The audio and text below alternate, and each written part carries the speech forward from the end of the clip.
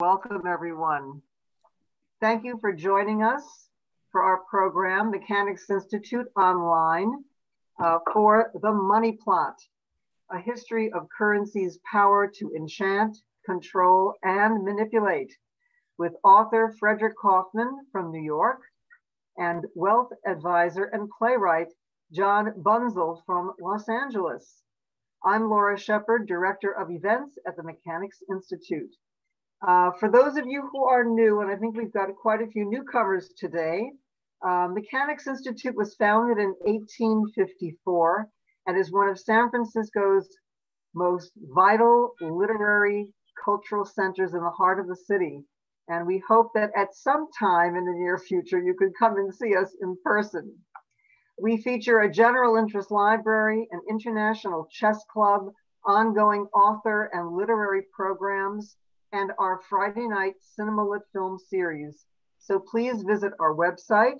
Uh, the library is offering books to go, and you can order those books online. So, about tonight's program. Yes, money does make the world go round, as we know, but how did the dollar get its name? Does Bitcoin mystify you? Are you a penny pincher or a big spender? And are you grappling between Wall Street versus Main Street? And what does it all mean?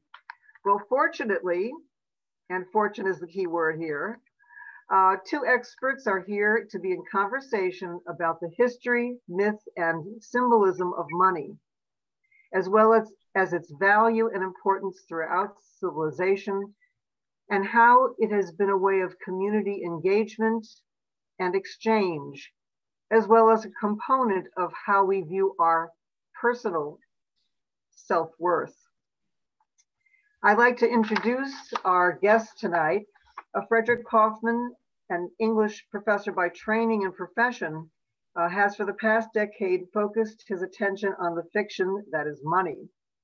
His unorthodox insights into the ways Wall Street has resulted in numerous articles uh, for publications such as Scientific American, to Wired, to Foreign Policy, to Harper's, as well as to TV and other media appearances on NBC, Bloomberg, Fox Business Network, Democracy Now!, and with other invitations, including uh, an address at the General Assembly of the United Nations. And John Bunzel uh, is a criti critically acclaimed playwright um, his play Boxing Lessons had its world premiere at the New American Theater in Hollywood in April 2019 and was an LA Times Critics' Choice of that year. His past productions include 63 Trillion, which was at the New American Theater, and also um, West of Lenin Theater in Seattle, Washington. Also, Death of a Buick, which was produced by the well-known Manhattan Theater Club in New York and the Pasadena Playhouse, and just to name a few of his productions. He's also a screenwriter for Born to be Wild by Warner Brothers and a TV writer for Stat and also The Wonder Years. And he served as the film executive for Convent and The Spreading Ground. So um, he also has a background in finance uh, which we'll hear about as well. So please welcome Frederick Kaufman and, and John Bunzel. Well, thank you very much, Laura. Uh, and uh, I am thrilled to be here tonight uh, to be able to uh, lead this conversation uh, to talk with Frederick Kaufman about his fantastic book, The Money Plot. Fred, how you doing tonight? Hey, John, how are you? I'm doing great. So glad to be here. I know thank you so much for, for uh, asking me to uh, participate tonight. And thank you, Mechanics Institute, uh, for uh, giving me this opportunity. Uh, I just want to say before we get going, you know, I hope everyone on the Zoom tonight is safe and staying safe, that their families are safe, that you have a happy holiday season, and that 2021 is a better year for all of us and for our country. Let's hope so. Uh, let's talk about the book, though. I mean, what timing, Fred, to come out with a book about money. I mean, this is something that is really on, you know, everybody's lips right now. I mean, everyone is talking about stimulus, money, the dollar. So, I mean, the timing's fantastic. I, you know, I really, I love this book. I just think, you know, the, what you're able to, what you achieve in this book, right, is, is not only is it entertaining, it's funny, there's a lot of great anecdotes and, you know, historical characters, but, you know, you really manage to, to, you know, give the reader a three-dimensional perspective on money, right? I mean, I think most of us, you know, we look at money very literally, like just transactionally, like $20 buys me this at the grocery store. But you sort of give us this, this sense of well, what does it really mean, right? And like, why does that little piece of paper bias than the, those groceries and the same thing at this grocery store and that grocery store? And isn't that really the, the main point that you're trying to make in your book that to really understand money, you have to understand the story and the metaphor of money. Well, thank you, John. I'm, re- I'm really flattered by that by that introduction, and and I, I would say uh, absolutely. I spend a, a, great deal of time in this book uh, in what's called pre-market economies and pre-market money, uh, dealing with shells and beads and skulls and feathers and and all sorts of things that people have exchanged for uh, tens of thousands of years before there was a, a market economy. And uh, for a long time, uh, the anthropologists and ethnologists of like the late 19th and early 20th century did not understand what these beads were and what these shells were and what these gongs were and what these stones were. And they could not see the money. And I think it's so odd because today it's the exact same thing. We still can't see the money money is always something we believe in without seeing. I think was like only 5% of the money on earth actually has any physical form whatsoever. And certainly this is uh, more and more true every day, not only in derivatives trading on Wall Street, which is clearly invisible, but in the increasing uh, the increasing commonality of cryptocurrencies over there are more than 2000 of them out there right now not to mention the uh, fed coming out with the digital dollar and uh, I mean, who's seen an airline mile lately? oh, that's really fascinating. Five percent is just a uh, that is a startling number, right? Um, so I think you have an excerpt from the book, right? That I'd love you to to to give us just a flavor of the book. And I think, although I don't know exactly what you're going to read, I think it's something about Herbert Hoover, right? okay, in the in the 20s, right? President Hoover, who definitely was a character right, in the money plot of the 20th century. So please give us a, a, a little excerpt from the money plot. Um, you know, readings always, I'm sorry, I hate to say this, shouldn't say it, they always bore me. So I will try to keep it really short, but I was thinking I, I might read three or four minutes. And of course, you know, we, we're dealing with an economic crisis today. And I think, you know, all jocularity aside, this is pretty serious business we're dealing with. And when I was writing this book, I got obviously very interested in the Great Depression. And what was most surprising to me is how interested I became in Herbert Hoover.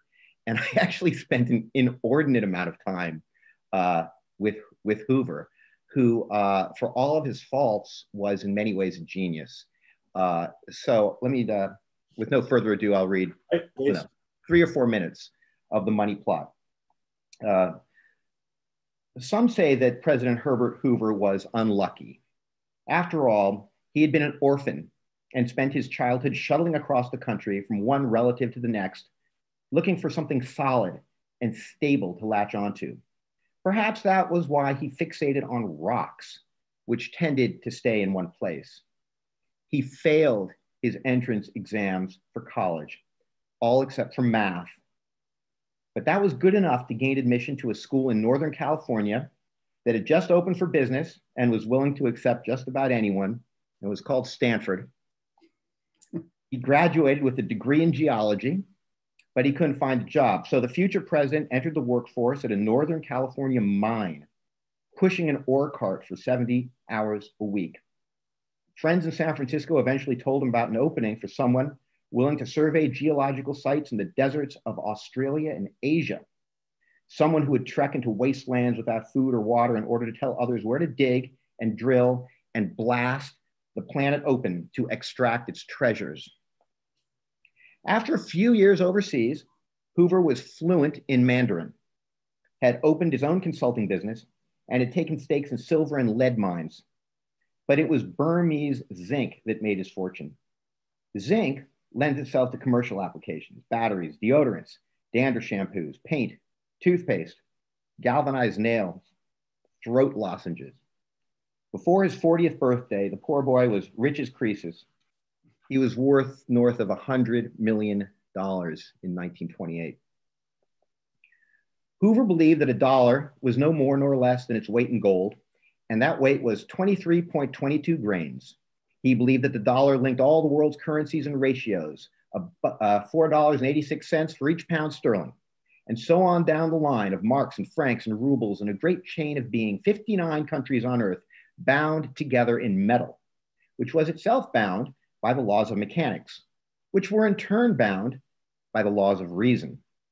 Hoover had the best intentions to combat the Great Depression with every ounce of scientific, technological, engineering, and mathematical know how and can do.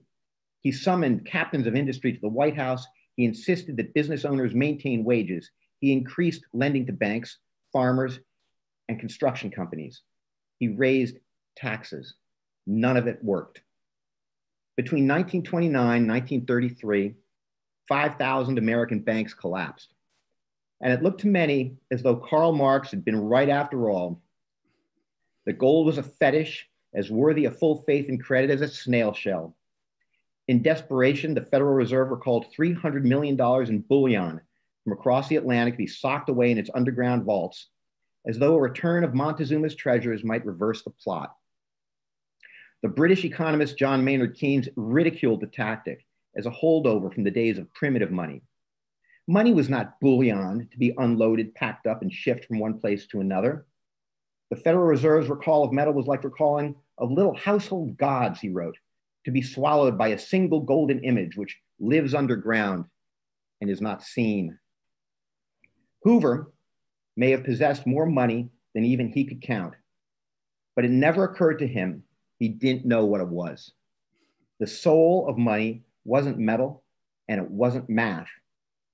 That was what Franklin Delano Roosevelt understood. On his first day in office, he closed every bank in the United States. Then he declared gold would no longer be street legal and ordered that all gold coins be turned into the central banking system to be melted down into bullion, cooled into ingots, and locked in cages in the sub basements of the Federal Reserve.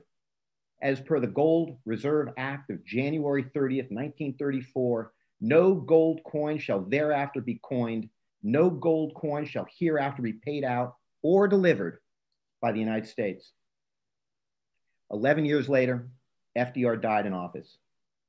Five months after that, as radioactive clouds hovered over the ruins of Hiroshima and Nagasaki, the economic dust of the American money plot had settled into irony. A dollar that could not be made of gold had endowed its sovereign state with more gold than any other country in the history of the world. The hoard amounted to more than 500 million physical ounces unambiguously corralled within the underground caverns of the Federal Reserve. And um, it does bring us today to uh, today, John, with, uh, with COVID and the Federal Reserve and the Treasury Department. How can we emit a trillion dollars? How can we deliver that to the American people? Where does that money come from? How do we make it out of nothing?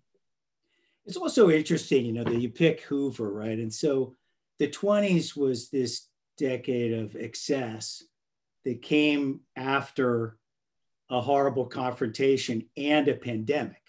Yeah. Right. okay.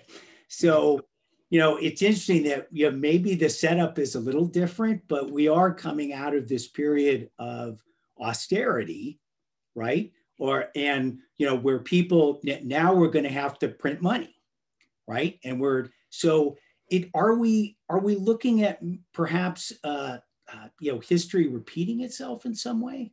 What do they say? Everything old is is new again. Uh, I think I guess the hope in a way is that we i think a lot of people are having the sense that these are apocalyptic times that we're looking at the end of money that we're looking at the end of the end of the dollar uh, one of the things that i learned by going back 65000 years is the end has happened many times uh, that the apocalypse has come and gone many times. Uh, I think I was most interested in this regard in, uh, in the medieval period when everybody was really concerned that doomsday was coming and the bubonic plague uh, killed uh, what would be the equivalent of a billion people on planet Earth today, a, a, bit worse than COVID. And, and what happened and what came from that period, that very apocalyptic period, was a transformation of ideas about money and the incredible growth of money and the incredible, incredible growth of commercial culture and a transformation. And so that gives me hope today. It gives me hope that, that we are going to come out of this strong and that money will go back to more of its original purpose. It'll no longer be something where everybody's at each other's throats about it, but it'll go back to its original purpose, which is to give us security, to give us some way that we can try and figure out how to control our future and, uh, and, and at the same time increase our status and uh, among other people. So you have a, I wanted to um, read a, a, a, quote from your book, right? So there's a, there's a passage in your book where you say, quote, economists and bankers are well aware that money possesses the power to transfer its form into any shape, but they are reluctant to follow this to its logical conclusion, end quote. What is that logical conclusion, Fred? Well, um, you know, I, I started writing this book uh, 10 years ago. It's been a long 10 years, it's been a lot of writing and a lot of rewriting. Uh, but, but the original idea has, has remained, and, and that's something which is a given among economists, and that's that money is a fiction. Uh, this is not new to me. It's not even a new idea among economists. People have known this really for about, you know, three or 400 years. The term imaginary money, money of account, has been in, in our vocabulary. Um, so money is a fiction therefore it should act like one. And the bankers and the wealth managers right. uh, don't really want to admit that they are in the tradition of soothsayers and shaman and people who, who tell the future. Um, they're not, they're so convinced of the truth of their fiction that they have created really an alt universe for themselves. And that's fine as long as we believe, you know, the, the, the origin of the word credit is credo. It's something that we believe in. As, as long as we all believe in it, it certainly is going to kind of work. But I think many people out there uh, would say that, oh, metaphor, that's something so silly in English majory. It's like my love is like a red, red rose, or like all the world's a stage, like that kind of metaphor. Uh, that's not really, that, that is what we're talking about. It really isn't what we're talking about. What we're talking about is how everything in the world has been monetized. Everything in the world has its price.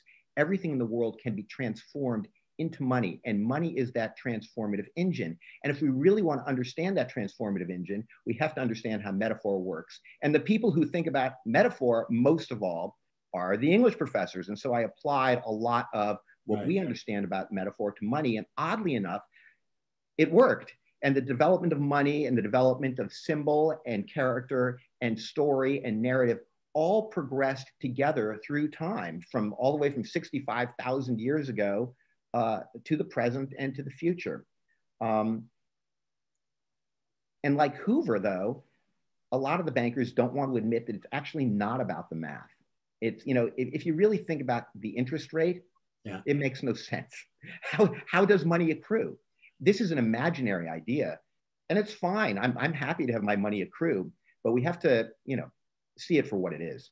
So you really, you talk about this. I know you spend, you know, the portion of the book where you talk about uh, this relationship between uh, language and, and money, right? This is, this is, you know, something that literature and, and metafiction, right? Which is what you're touching on here. Okay. So this is where you talk about Don Quixote and how that was the creation of metafiction and literature. And um, you know, it's a it's a it's a fascinating concept, right? To be thinking of, you know, and, and for those that right, the a definition of metafiction, right, is is a character in a fiction knowing they're in a fiction, right? Okay, so so aren't we all? You're you're really saying that we're we're really all in this metafiction today, right? And and we know we are yeah, I, I, the reason that Don Quixote is, is, is so interesting and, and why it's called the first modern novel, and it, of course it appears in Spain at the very beginning of the 16th century, and why Cervantes was the only author that Shakespeare ever really uh, considered a rival, uh, is Cervantes was actually working for bankers uh, in, in Spain during this period, and he was collecting debts and he was uh, moving money around for, for them And he noticed that a lot of these Spanish grandees, you know, with their fabulous sashes and ceremonial swords, they were bankrupt. They literally had no money. And he saw that they were living a dream. And out of this came this idea of this character, Don Quixote, who reads too many books and starts believing he's a knight and who believes that uh, the whore down the block is his lady in waiting, right? And the book is a hit. It's a smash hit. It, it sells hundreds of thousands of copies, makes him a lot of money, so much so that the next edition comes out 10 years later. And in this edition, Cervantes pulls this, pulls this trick that's been copied ever since by novelists, which is Don Quixote says, Yes, I know I'm famous, he says in the book. I read the first book. So now you have a character in the fiction saying that he's read about himself, a character in fiction who's become the character because he's already read too many other books. And, and it's just this kind of crazy, endlessly reticulating logic. And that's exactly what's going on with the money plot in the sense that this fiction, this idea this symbol, is created thousands and thousands of years ago. But ever since Adam Smith in 1776 comes out with The Wealth of Nations and comes up with his own creation myth of money, which is subsequently proven incorrect, the idea that money comes from barter. Right. And we start thinking about money as kind of the essential unit of exchange, unit of account, right? Essential media.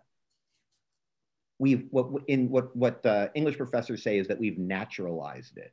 That right. this is an imaginary concept that we have um, that we have then naturalized. We think it's real, and hey, I'm all willing to accept that it's real. But what the bankers do is then they start playing on this playing field of the unreal. And it's not just about investing, but it's about the more arcane forms of investing in derivatives and in futures right. and in indices, like stock indices. Well, now you have a metaphor of a metaphor of a metaphor. Um, yeah, and so that's really interesting. You talk about that in the book of, of indices where I think you say money has kind of swallowed itself in a way where well, right, right. when you know when you have the first index funds uh, and, and, electronic traded products and all of a sudden the index fund of the S&P 500 is traded on the S&P 500 that's that's a dizzying effect and all of a sudden where's the money what is the money well the money is the metaphor of the metaphor of the metaphor uh, does not make it any any less money, but it certainly comments on a lot of people who were insisting that money is a material, that it's gold, that it's silver, that it's oil, that it's grain, that it's livestock, that's lumber, and we're realizing that's not at all that's not at all the case.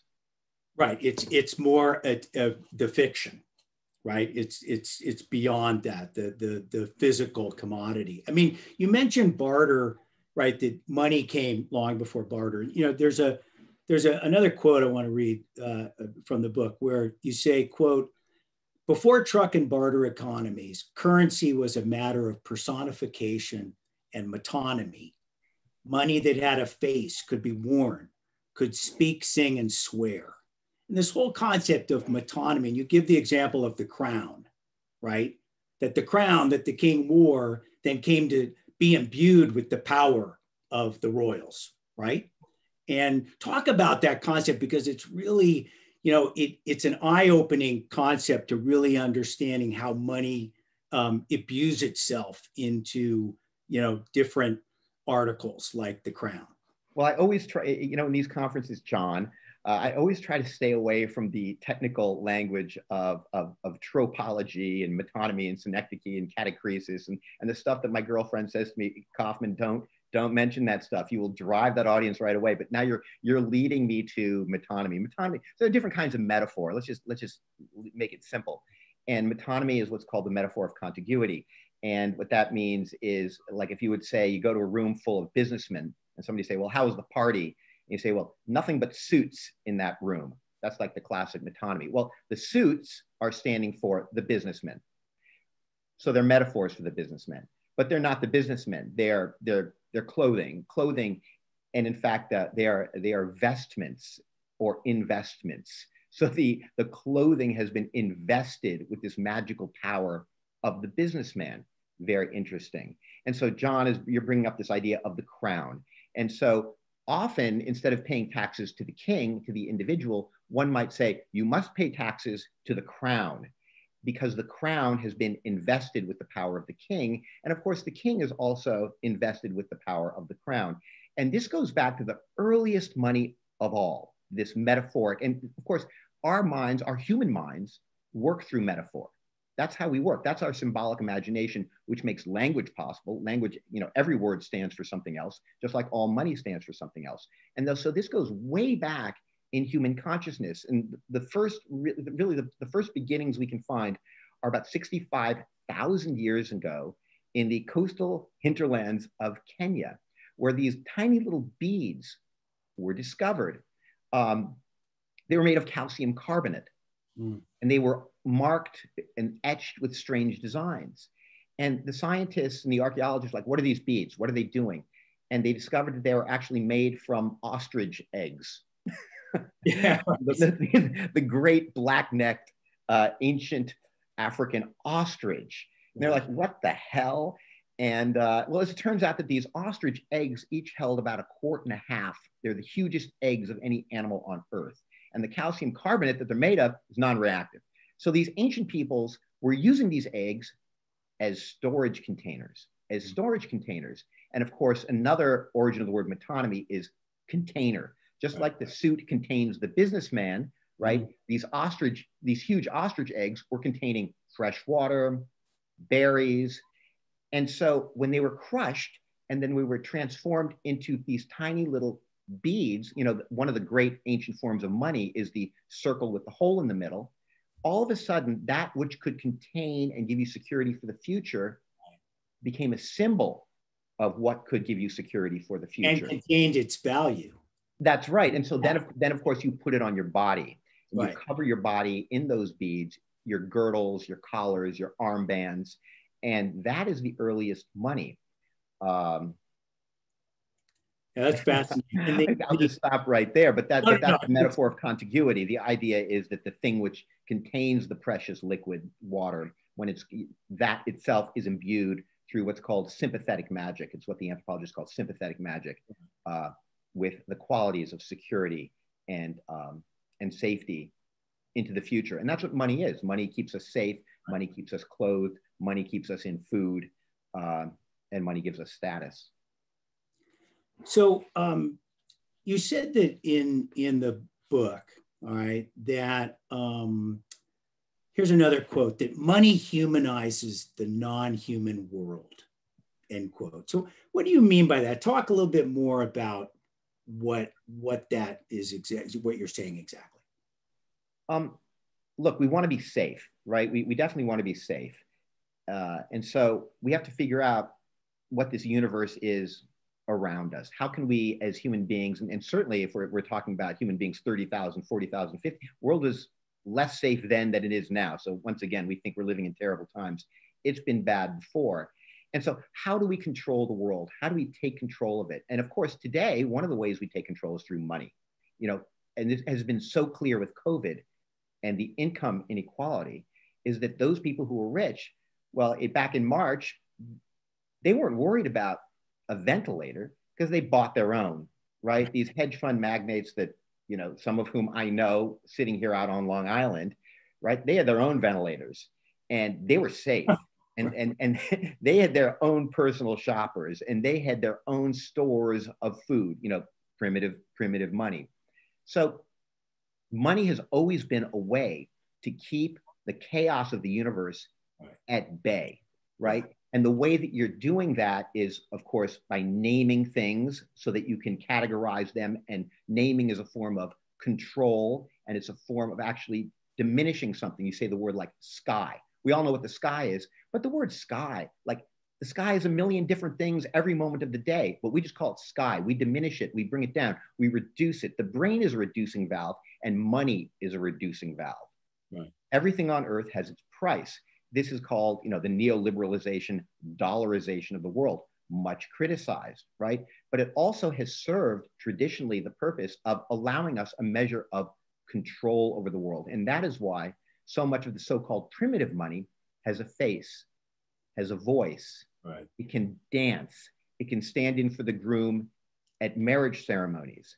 That's why there are faces on coins. Again and again and again, we are seeing money being a projection of human desires. And that's why the epigraph from the book, a lot of my, my kids laugh, is from Billie Eilish.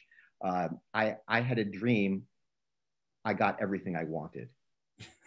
that's what money is. Money is the dream that you might have everything you want. So you also talk about in the book at length about the connection between money and God. Okay, which I want to really talk about, and you know how doomsday and the end of days, right, is is intertwined with money, and that you know there's certain financial concepts, right, that you have to know the end to understand the plot, right, and understand what it means, like a mortgage, or a lease, or life insurance, or a, an annuity, right? They're all about well, where does it end? And well, John's uh, John's experience in money management is coming through now. But but honestly, full, dis- full dis- we should have a full disclosure now, John. We should have a full disclosure and, and really tell tell tell the audience the fact that you know John and I we went to junior high school together and high school together, and we actually sat in chapel together. you know, you know, a good Jew myself, I, I sat in chapel, and and and so we spent a lot of time think you know as kids thinking about, you know, what what is this? What is going on here in chapel? And I particularly was like, this is very strange to me. And so I started really thinking a lot about the uh, the corporate body of Christ. And this is a concept, uh, not my concept. This is the Christian concept. And I was delighted to find that the beginnings of corporate culture and the first corporation and the, the idea of corporate personhood, which of course we all know now in terms of you know corporations having a voice in terms of political advertisement. This whole notion of corporate personhood, we can date it. We can date it to the year 1250 and Pope Innocent IV. And in one of his Lateran councils, I believe it actually was the fourth, you know, I know people really care, the fourth Lateran council. It is interesting that at this Lateran council, they made the law that all cardinals have to wear red hats. You know, that's probably the most longstanding law. But other than that, he decided that the, the church was a corporate body. It was a fictitious body, that anybody who harmed anything in the church would actually harm the entirety of the, of the, of the living body of Christ on earth. And so what's interesting here is that for many years, the Christian church throughout the Middle Ages was perceived to be at loggerheads with capital, with, with the growth of capitalism. But since about the 1970s, it's been clear that, that such is not at all the case. Right. And this goes back to what we were discussing earlier, John, which is it's an apocalyptic time, just like we're living in apocalyptic times now. And all the monks and the church fathers were thoroughly convinced that the end was near. It, it was, it was obvious. The plague had hit, all sorts of horrible things were going on. The, the Vandals were invading, the Ostrogoths were, were, were stealing their daughters, the monks were working all and praying for the end. And they started defining their world, not looking forward into an indefinite future, but saying, there is the end, and we're counting back. Yeah. Exactly. We're counting backwards from right. the end. And this inspired the medieval merchants to follow them in this kind of counting from the end going due dates, expiration dates, the yeah. entire no- notion, as you say, of the mortgage, money, how, how do we calculate money anyway? Quarterly reports at the end of the quarter, wages at the end of the hour or the month, taxes at the end of the year, 401ks, retirement funds. Every wealth manager is thinking, it's called the technical term is anagogically, from the end coming towards us at the beginning. If you get a mortgage, uh, the person who sells it to you can tell you what the last payment will be, right. when your redemption will come. And this is the great contribution of finance to, of the church to finance. And of course, the word finance enters English at the height of the Middle Ages. And it's related to this Latin word finis, F-I-N-I-S, is related to finance. And of course, finis, fin, it means the end. We see at the end of books. So right. finance is, is really the art and science of endings. It's the so art and science of doomsday. So, so one other thing I was just I wanted to uh, chat about uh, of uh, about metaphor again. That, that and I think it's just important for people to um, understand. Part of what you talk about in the book is is this idea also another subset of of, of metaphor of where one thing represents the whole, right? And the idea of stock ownership or equity, right, is an example of that, right? And the, in fact, the dollar is an example of that, where the dollar, one dollar represents this much larger currency system, right? And this this financial system. And that's a very powerful concept also, right? Isn't it in this fiction? Well, okay. So again, you're bringing me to the technical terms. Yes. So part for whole is is a, is a big part uh, of of our metaphorical imagination. It, it, the technical term is synecdoche, right? And the fractional ownership. Fractional right? ownership. So so again, what we'll say is like, uh, you know, why did this happen? We'll say it was the hand of God. The hand of God is a, is is in other words is standing for all of God, even though we're just mentioning the hand of God that's a form of part for whole. You'll notice on every coin, it says e pluribus unum, yeah. you know, of many, one. And the power of money, and particularly the power of coinage, like when we start moving a little bit forward and we see the first precious metal coinage appear in ancient Greece in the Peloponnese around 500 BC, oddly enough, at the birth of tragedy we mm-hmm. what we're seeing is this idea of the coins being all these tiny little replicants, all indicating a larger power, a larger uh, political power. And so there are many ways that this is then uh, exploited. Certainly, the Romans exploited this a lot, using the coin to expand their political power. But of course, this happens at the same time as the birth of tragedy in ancient Greece. Right. And oddly enough, what is more tragic than a coin? You know, it has the emperor's face on it, maybe 20, 30 years. Then it gets melted down, thrown into the heap, and they just stamp on another emperor's face. And what's very strange to me is that this is embedded in all of the myths of the ancient heavy metal gods, the gods of bronze and silver and gold, all of which had their moments ruling the earth in the golden age and the silver age, and all of whom reached terrible endings. And they're torn apart and ripped to pieces. And of course, that's how they get scattered into right. the mountains and across the globe and in the rivers. And then the magicians, who were the ancient mineralogists and chemists and soothsayers, had magic formula through fire and high heat to bring these metals back together and to form them again into these kind of perfect little things, these golden circles, right? And that indicated that they were part of a much larger mysterious whole. And what's even more interesting, I think, is how you were talking about fractional banking.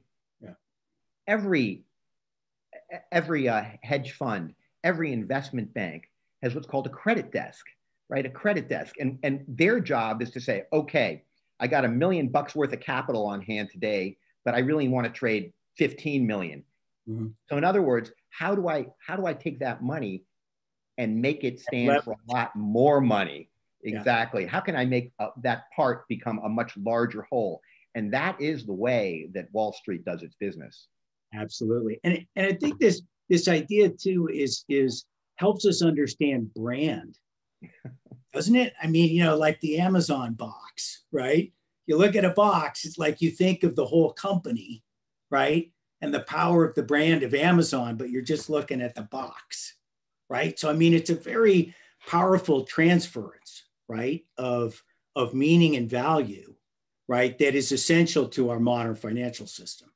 I, I spend uh, a lot of time. I've spent a lot of. I, I, can't tell you the amount of time I spent over the past decade thinking about branding, yeah. uh, and to me, what was fascinating is that this branding is essential to one of the earlier forms of money in, in pre-market economies again, and that is the branding of cattle, right? Because cattle is is a form of money and, and has been a form of money. And of course, cattle can, you know, obviously bear interest. Cattle can provide you with all sorts of, of goods. And uh, it's violent. The domestication of cattle, it, it, it, there, there, is, there is an underlying current of, of violence. The transformation of a wild animal into a domesticated animal happened about 10,000 years ago at the same time as we have wild grains becoming domesticated grains. And this is all a very violent act. You have to get the, you have to harness those animals. And mm-hmm. again, you are now controlling their future in a way that we want money to help us harness and control our future. We have total control over domesticated animal. the moment of its birth, right? Because we breed them, to its slaughter. When we put the yoke on its neck, we make it travel back and forth exactly the way we want it to go. That's that element about certainty that you talk about, right? Is that yeah, we have that gives us a sense of security right. for the future. Imagine the first hunter gatherers wandering about and mm. stumbling upon the first farm. You know, here are these people with shell emblems, you know, some, you know, helping them move their way through a dangerous and epic future. And all of a sudden, here is some dude who has fenced in this area, and it's kind of like Bitcoin. Yeah. He's making his own money. He's making his own grain. He's making his own livestock, and his own ecosystem. Un- unfortunately or unfortunately, he probably has a bevy of wives. Right. So he's creating his own labor force at yeah. the same time as he's creating more mouths to feed. He's creating his own economy right there on this farm through these branded animals that are clearly his. And one of the earliest definitions of, uh, of economy uh, comes from Aristotle, the idea of what's called the oikos, uh, which is related to the word economy. And that was the combination of the, the household, the house itself, and the land around it. Right. And that that is the original economy. And that can only happen when livestock is domesticated and branded and owned. That's a whole. But this comment you, are saying this this correlation between language, agriculture, and money, right? Yeah. And that, that's a really fascinating thing. I want to, you know, because I know our time is is important here. I want to make sure we to talk a little bit about gold. Okay, because I know you mentioned gold, and gold is very prominent in your book, right? And you know the um, here, here's a quote from your book. You say, quote, money's most persistent captor has been gold, uh, end quote. Um, and that, uh, quote, money wants to be free, right? So um, we know that in 1971, right, the dollar was floated, right? And this was a, and you and I particularly know this because we, we, we, we uh, You've been talking know, about it. Right, right, about this event. But this was the Nixon and his administration floating the dollar in 1971, closing the gold window where, where um, foreign countries who had gold res uh, reserves, right, could have them converted into gold, right? And they shut that down and really freed money. So how important was that event? I want to talk about, you know, that event and sort of what it opened up and made possible after that, but also this character of John Connally, all right, who was Treasury Secretary, right? He was former governor of Texas, survivor of the Kennedy assassination, and he went on to play this pivotal role, right, in this floating of the dollar. So talk about what happened then, how critical that was.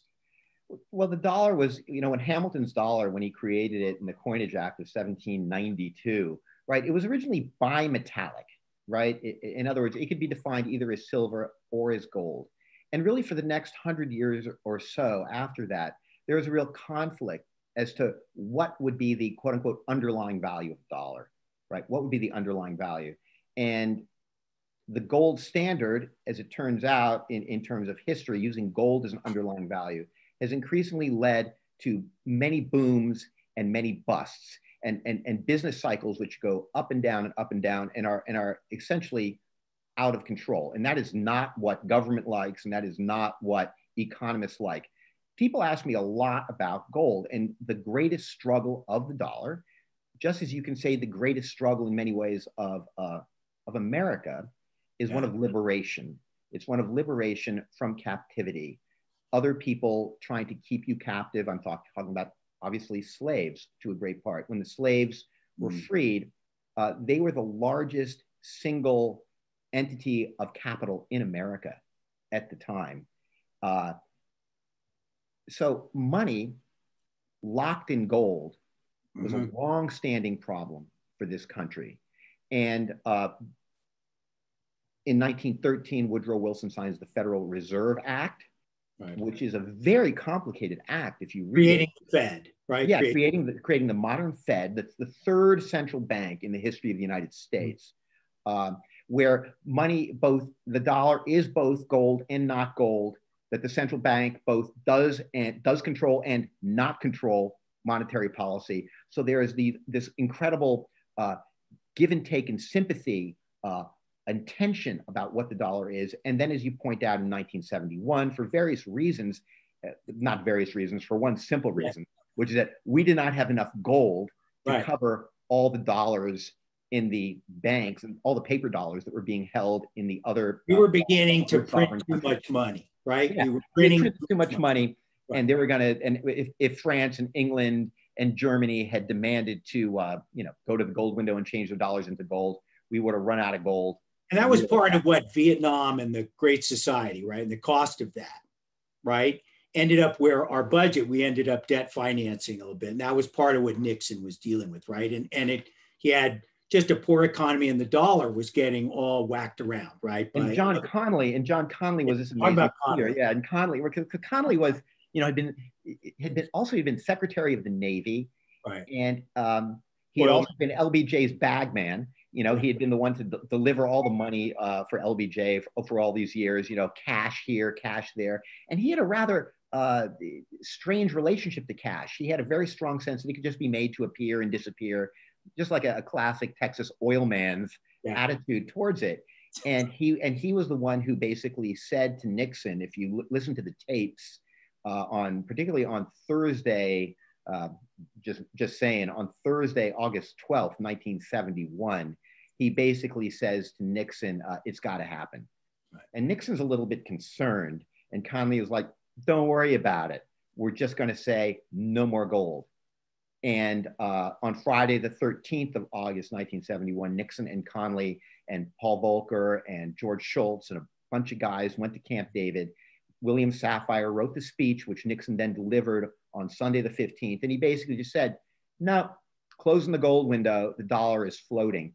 And everybody had suspected that the world would freak out, that the dollar would collapse, that they'd be celebrating, you know, in Russia. Nothing like that happened. Dow went straight up. Wall Street was like, this is great. I love the idea. We are, money is free. Right. It's been set free. It no longer is locked in.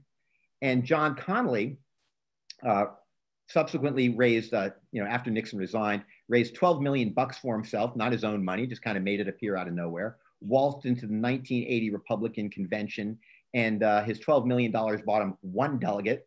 he congratulated Ronald Reagan walked out of there and decided, well, now I'm going to be rich. And he and, uh, died. He died bankrupt. Yeah, he died bankrupt. He's the only so, Treasury Secretary we've ever had who went completely belly up. The guy who was one of the architects of freeing money ended up its captive at the end of his life. Well, he said his classic line to the group of 10 when they floated the dollar was the dollar is our currency, but it's your problem. Yeah. And uh, the great irony was it certainly became his problem. And uh, he ended up having to sell dollar bills. You know, the dollar bill has right with his signature. He wrote his signature on top of his signature, right? right, and he's selling it for twenty bucks. Uh, yeah, it was pretty sad.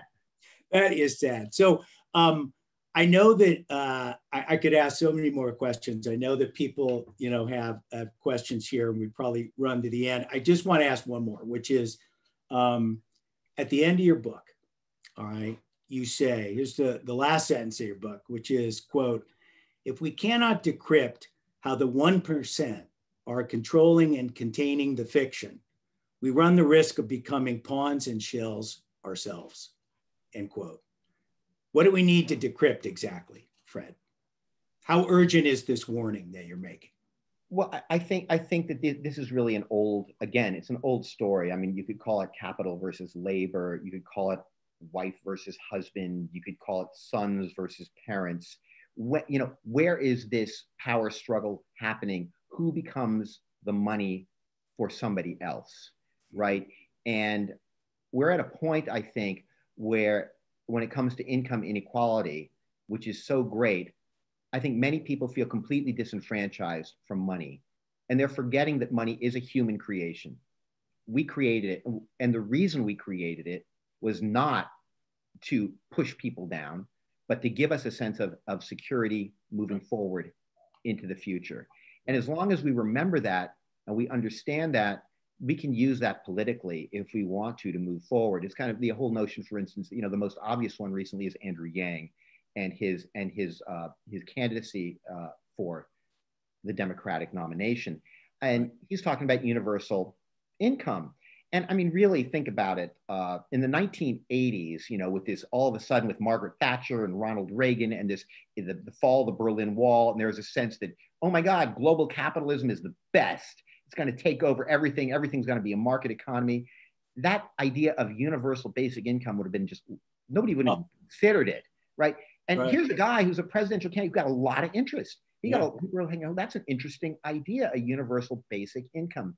And mm-hmm. I do think that with cryptos and with also just kind of a general sense of suspicion about what money has become with malware and the global phishing economy and the global scam economy, all of these things are making people reassess the value of money, what it's originally there for. And we can see a growth of artisanal currencies. We can even see this kind of strange interest in post money economies, barter economies, in which people. So it's a democratization of money? Is that sort of what you're talking about? I think I think I think the hope reaction a a a, a um a reaction to the income inequality. In other words, we're sort of bouncing the other way or, or trying to address that. I, I think people I think people are increasingly aware of and disgusted by the actions of the plutocrats. I think for a while in the 1980s there was a very strong sense of you know greed is good, man with the most toys wins. I want to be that man. I think at this point people are like mm, that's not that's not right. Somebody's cheating here. And so i think that i think that instead of it people are looking towards a diff- different models. Uh, and i think that as i once again uh, when we look at doomsday when doomsday is staring us down yeah. that's a that's a that's the time when we actually start considering different models and different models of money. This is a pathway then to to really where money truly becomes a humanizing. Yeah yeah. And, and, it'll go back to its original, right? Remember the original money is is is an ostrich eggshell right. with fresh water, with nuts and berries. So your children can survive. That's right. That's that's that's the money. And that's the original meaning of money. And, and maybe we can somehow redeem that meaning. That's my hope. Uh, well, it, wow, it's so great. I mean, I could just, you know, you and I could uh, talk all night. Um, I got more questions we will get to, but uh, Pam, I know that uh, you have uh, a number of people in the queue that want to ask, uh, have some questions for Fred. So I'll hand it back to you to, uh, to sort through those. Okay, well, the um, first question we have is from Jolene Huey. Uh, is this subject taught in school in either economics or finance? And if not, why not? Um, that is that is a great that is a great question, and, and that I think is in, in some ways the the greatest just you know to, to put all modesty aside that's the greatest thing about my book but it's also the worst thing about my book which is that what i'm delivering here is is a, a fairly new way of thinking about money. For a long time uh, in scholarly circles people have been trying to uh, use money and language and fuse them. Uh, recently we're seeing books that are a little bit more popular about how money is a made up thing and then how, how we can then take ownership of it again.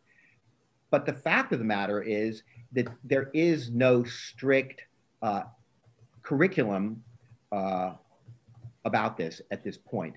I, would love there to be, uh, absolutely. And I and I and that's one of the reasons I wrote the book. I really had a very strong sense. A lot of people ask are saying, and I hear it all the time at cocktail parties when there were cocktail parties, I don't understand money. Like I would say, I'm writing a book about money, and people say, I don't understand money.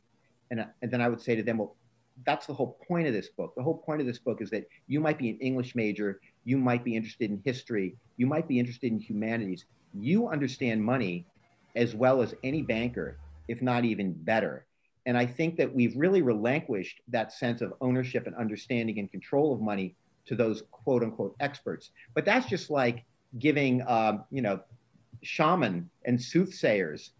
That's what you know. They're poets. These these uh, these bankers. I respect them, but that's not all that money is. And I think I think that's the goal of the book is for a lot of people who is is to once again to, to understand that they can understand it, that they already do understand it.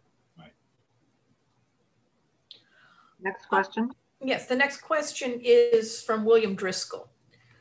With the upcoming additional stimulus in the US and even more stimulus around other countries, will the dollar and other currencies lose value? If so, what do you think about having some portion of one's investment portfolio in gold or Bitcoin?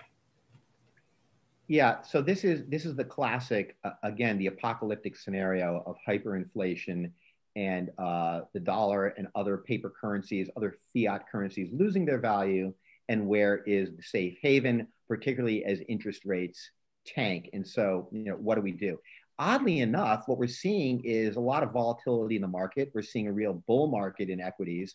Uh, the dollar is uh, historically weak right now, but on the other level, that obviously, as we all know, that's going to help United States manufacturing and exports. So what we're seeing is a web of, of a sympathetic web of, of push and pull, give and take. And I do not really believe there's going to be hyperinflation, even if there is a huge stimulus, another trillion dollars. I think that money is simply going to enter the economy. It's going to be spent as soon as, as it's received, as people, you know, they owe a lot of money, they need a lot of money, people are out of work. So I, I don't I don't possess those fears. Uh, but what you can see with those fears is that those fears are actually leading to extraordinary profits uh, on Wall Street. That that the Dow has reached extraordinary levels, gone over thirty thousand. Fortunes have been made in the past, you know, during the pandemic, literal fortunes. Uh, and a lot of the great hedge fund traders have been saying that if you're a macro trader, this has been the greatest time in your life. Uh, and if you really are a sophisticated investor, you make money off of panic. You make money off of fear. And the classic example here is the index a lot of these macro traders are working on, which is the VIX, the so called fear index on Wall Street.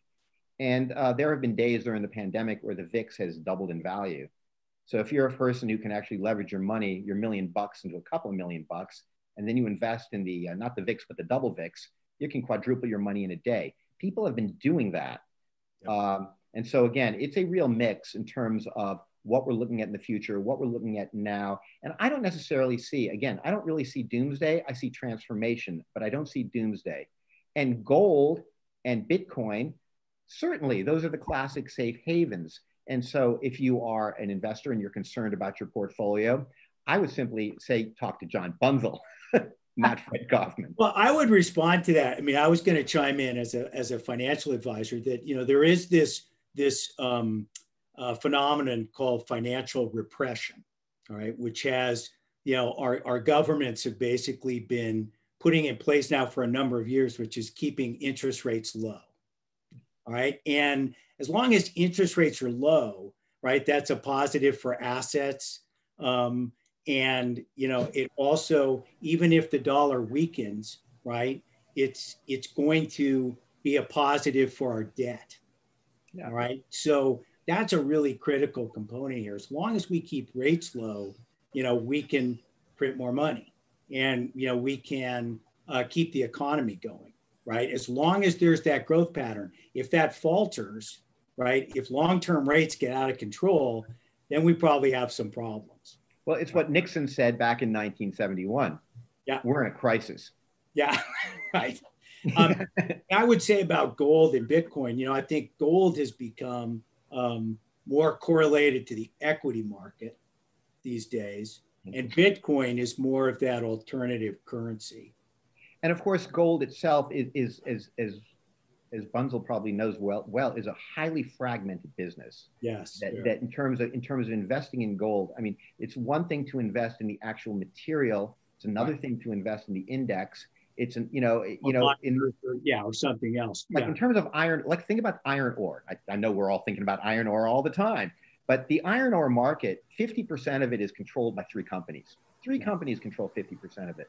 If you're looking at the global marketing gold and mining and exploration, if you want to get 50% of that market, you're looking at almost 100 companies. So it's a wildly fragmented market. So caveat emptor, buyer beware. It's not it, it, it's not it's not a simple equation. And Bitcoin is obviously highly highly speculative itself. And now you can buy indices of uh, Ethereum and Bitcoin and other cryptos. I, I'm not afraid of cryptos. Right now, there's a lot of volatility. It's the same as primitive money. It, it really is. It's a way to keep us safe in the future. It's an algorithm, which is kind of a pathway through the future. We haven't really discussed that too much. But that's exactly what primitive money is, is this, this pathway that we can follow to keep us safe as we go forward. And it's an emblem that we hold. And of course, you mine for it, you farm it, you input energy. There's not too much difference between uh, crypto and a dollar. A lot of people would ask me when I was writing this book, are you going to talk about cryptocurrency? And I was like, the dollar is a cryptocurrency. And crypto also has that end to it, right? That we, we know how many Bitcoin yeah. there are. Right. So the Genesis block right. of cryptocurrency is, is, is, brought out in December of, of 2009. And the last block will be released in 2140. So again, it's it, there's there's an anagogical quality to it. The end is in the beginning. We, we there's a set amount of it. Uh, so watch out in 2140. Yeah, exactly. Be careful about 2140. Be careful. Yeah. All right. So another question. Um, this is from Asa. Uh, in modern times, the idea that everything has a monetary value is Judeo-Christian and hence Western. It is certainly pervasive in our country, does your book address the fact that this idea isn't as pervasive in the rest of the world as it is in ours? Yeah, I talk a lot about the problems that European men in particular had in understanding uh, other cultures and other money systems and the clash and the, what I call money blindness. So I, I do spend quite a bit of time talking about uh, this lack of understanding and then, of course, the exploitation uh, and the ways in which, I mean, uh, for instance, Europe, the Europe of the year 500 was, this was a primitive and savage place compared to the, the great civilizations of Asia and Ethiopia. But the Europe of 1500, 1000 years later, watch out, right? They were the nastiest people on earth. And a big part of that nastiness had come from their perfection of accounting, counting, and money system, right? And so when they land in the quote unquote new world and they say, where's the gold, right? And Montezuma doesn't quite know the deal here. You know, their, their currency is actually uh, cocoa beans. You know, that's really what the great Mexican currency was, not gold. They don't know what they're getting into. And the next thing you know, we, we're looking at genocide and tragedy. And so a lot of the book is, is, is not jocular. A lot of it is very serious in terms of how people have actually exploited other people as money. And this is what, what, what John was pointing to earlier about the fear that this could happen again, uh, the, the fear that we do not want to allow ourselves to become exploited in that way. And there's a long history, not only of other indigenous people, but also, again, this opens up a huge huge idea the idea that women were often a long time ago used as elements of exchange, that women's bodies were actually exploited as money. And I spend a lot of time looking at marriage ritual and the metaphors of marriage ritual and how that relates cross culturally to the relative uh, use or non use of human bodies as forms of currency. So the next question is from Ryan Orsini. How do you foresee cryptocurrency, digitalization of currency, changing narratives about money? And do you think it will be useful or, or productive in some way in shaping regulation? That's a, that's a, that's a that's a great question. That, that's a that's a that's a great question. I think that um, I think we don't know yet. I think it's kind of like a fish swimming in water, right? We the fish doesn't really understand that's what it's in. I think it's much easier, you know, for somebody like me to look back in history and to be able to so, show, oh, narrative developed this way at this point, money at the same time. It's very hard at this point to see it. The one thing that I think is clear though is that that the crypto algorithms are all formed, they're all indexical forms of money. In other words, they're, they're disembodied, many steps removed from anything that actually has a physical body, right? And so uh, what we're looking at increasingly are, uh, in terms of text, is the end of the story and what I call the index to the story. And you can see that the, some of the greatest purveyors of wealth today create that wealth through indexes, indices like Google. Google is one big index. Uh, Amazon, one big index. This is how they are creating their money. This is how they're selling themselves. This is the true data that's being collected about all of us. So the future of money is going to be, and the next step in that story is something we don't quite understand yet. But and just at the same and likewise, we don't really know how to regulate it yet. Regulation generally data is what you're talking in the game. Right? I'm sorry, John. No, you, you're you're kind of saying that data is going to play some role or information, right? Yeah, and and and regulation comes late in the game because people don't know, they don't understand what crypto is. Is crypto an investment? Is it an asset? What where does it belong in corporate law? Right? We're still we're, we're still not understanding that, and, and those are still areas. But but but that's a very good point that we're only going to be able to regulate it once we define what it is. And so far, nobody has been able to do that. So the next question is from Pamela Crawford. How do you reckon thieves, embezzlers, con artists, and cyber criminals think of money? Supposedly, the amount of cyber theft outstrips the GNP and national debt. Yeah, I, I think that I, I talk a lot about I talk a lot about what is going on digitally in, in terms of global scam economy and, uh, and malware and phishing. And um, I think the overall effect has been a, a general suspicion of money itself uh, and, and, and, and flight from the dollar. Uh, and, and the sense that we have to figure out another way of putting a firewall between ourselves and our assets and what is out there. Um, and so this adds to uh, clearly a sense of paranoia about our money, paranoia about what's going on online. But I think most of all, it gives us a very strong sense of there's got to be a next step here. In other words, that money itself is suspect, that money, I think, will be. It, uh, why do I write this book? It's not like I'm the only one who had this idea. It's the fictionality of money is becoming more and more evident every day. And it's most clear in scams. Right. CJ Verberg has a question from your point of view. What's the difference between money and currency? Hmm.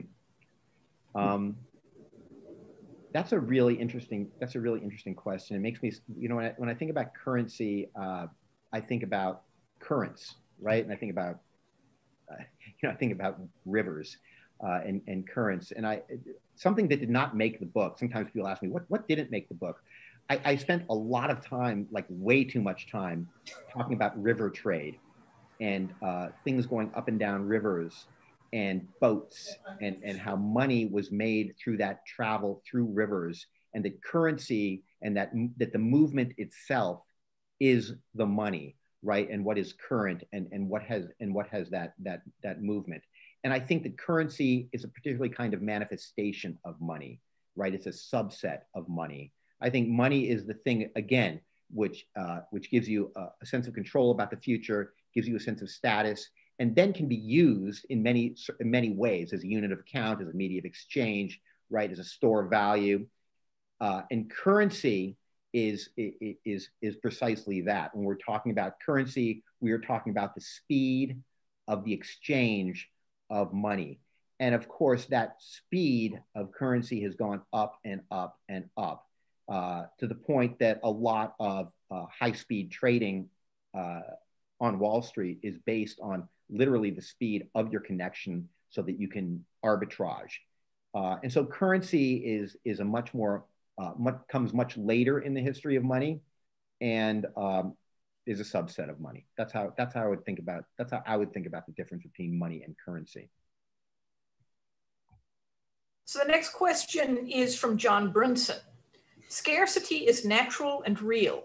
Does money just glamorize and serve as a beard for the harsh reality of scarcity? I've come from John Brunson. Hey, John, how are you? Um,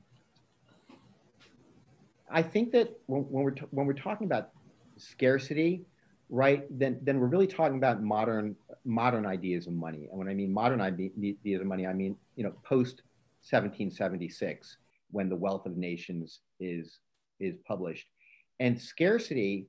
Um, you know the idea of something the price of something going up the scarcer it is that is really only going to happen in a in a market in a market economy if you look at pre-market economies, uh, for instance, economies based on beads or shells, the whole point about money from the beginning is its infinitude. Mm-hmm. So why are, why were shells the first global reserve currency, right? Because there were an infinite number of them. a lot of them, right? Yeah, there are a lot of them. And so the it's kind of like we're afraid. So many people are afraid of money being infinite. We should not be afraid of that. Money is, in its essence, our connection to the infinite. We need to understand the infinite in order to have a, a, a conception of money. And so now we're kind of stuck in this idea of what is scarce, the Birkin bag.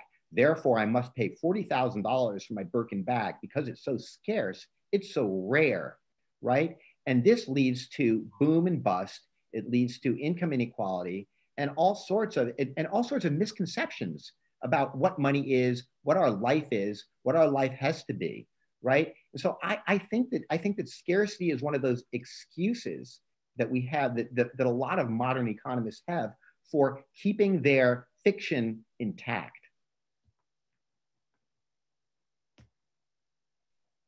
So final question from David Peterzel. Fred and John, hello from 1978. Does money as a myth have properties that could never exist in the 3D physical world? Can it, as a mental construct that has no direct physical representation, do things indirectly like defy gravity, walls, or water, or transform itself into gold? it seems that some of the narratives of money speak to those properties of money. Um, yeah. Wow. That's that's that's. Yeah. Why aren't you writing this book? Yeah. Um, yeah. I mean, I, I I think that that money is uncanny, and money is magic, and the I and and that's its origin. The you know how did that ostrich eggshell become a bead that worn on your body is going to give you status and security. Somebody cast a spell. So somebody said, somebody, somebody told a story about it. Somebody made it up. Exactly. And so the same can be said. I don't want to offend anybody, but you know, being a, being an atheist myself, I'll just put it out there. The same can be said for God. The, God is a story that we tell, and either we believe it or not. You know, I, I'm not judging anybody for their belief in it, certainly not, but absolutely. And so there is no doubt that among the sex gods and the war gods, money was one of the ancient gods. Money in, in the ancient Roman pantheon, there was Juno Moneta. And it's so interesting. What's interesting about this uncanny quality of money as this super, you know, uh, super normal figure is the way in which the elements of it, which actually are normalized. And what I mean by that is for many years, uh, this, this supernormal figure of money was female, right? Lady Liberty, for instance, uh, or Juno Moneta, or Lady Credit.